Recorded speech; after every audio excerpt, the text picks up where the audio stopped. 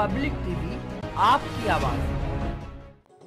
Double engine की सरकार हर क्षेत्र में तेज़ी के साथ विकास कार्य कर रही है। पार्टी ने इस बार 400 पार का लक्ष्य रखा है। कार्यकर्ता जनता के बीच के घर घर जाकर सरकार द्वारा किए गए कार्यों को बताएँ। सभी कार्यकर्ता इस कार्य में जुट जाएँ। ये बात राज्य मंत्री बलदेव सिंह औलख ने बुद्धि बिहार स्थित भाजपा कार्यालय आरोप कार्यकर्ताओं पदाधिकारियों की बैठक में कही। उन्होंने कहा की व्यापारियों ऐसी लेकर किसानों तक के लिए सरकार ने काफ़ी काम किए हैं। लिहाजा कार्यकर्ता जनता के बीच जाकर उसे लोगों को बताए। बाद में पत्रकारों ऐसी वार्ता में उन्होंने कहा कि मुख्यमंत्री योगी आदित्यनाथ ने ज़िले को राजकीय यूनिवर्सिटी हवाई अड्डे समेत कई सौगात दी है। इससे यहाँ के गरीब बच्चे भी उच्च शिक्षा प्राप्त कर सकेंगे, वही निर्यात को भी पंख लगेंगे।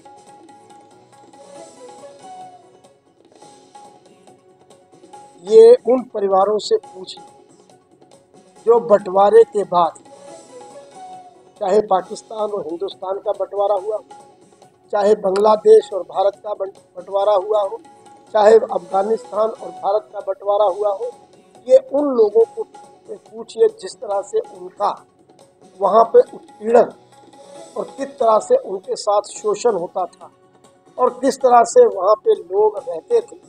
और आज जो पहले भी आए हुए उनको यहाँ पे नागरिकता नहीं मिली, अब माननीय प्रधानमंत्री के और माननीय गृह मंत्री नेतृत्व में उन लोगों को एक एक ऐसी अमृत बूंद बूंद मिली है कि जिससे वो अपने जीवन को और अपने परिवार को, अपने समाज को धन कर सकेंगे और हम उनको अपने देश में सम्मान नागरिक की तरह उसको रख सकेंगे, वो अपनी सदस्यता यहाँ पे ले सकेगा, वो कह सकेगा कि मैं भारत भारत भारत का निवासी हूँ, भारत का वोटर हूँ, भारत का रहने वाला देखिए कुछ कुछ कुछ विपक्ष के लोगों को सिर्फ़ मुसलमानों तक ही देखने तक सीमित उन्हें पूरे समाज को देखना चाहिए। खाली मुसलमान इस देश में नहीं है, इस देश में मुसलमान भी है।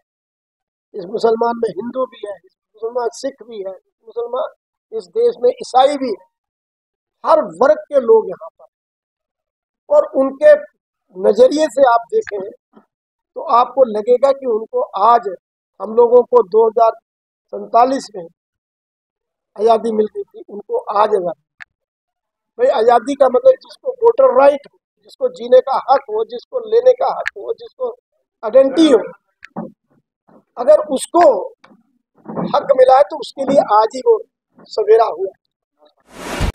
पब्लिक टीवी, आपकी आवाज़।